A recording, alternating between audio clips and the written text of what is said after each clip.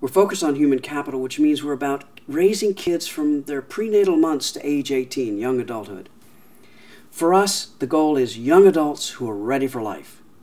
Economic opportunity means these young adults can be productive citizens in their economy, and they can all, because of their skills, access their inalienable rights, however their society defines them. What HCEO is doing is unique worldwide. When you think about children, you realize right away it's a complex process of raising them involving parenting, family dynamics, nutrition, health, uh, finance, markets, how you get resources to the institutions that raise children.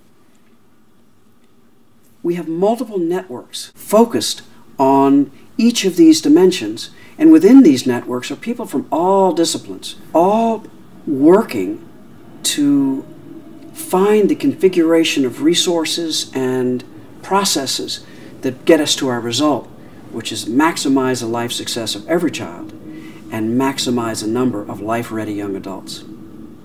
People ask me all the time, why is a finance guy so focused on investing in kids in the earliest months and years of their life? Why early childhood investment? The answer is it's during those years that you have the greatest impact on a child's later success. We need a workforce that is educated and productive.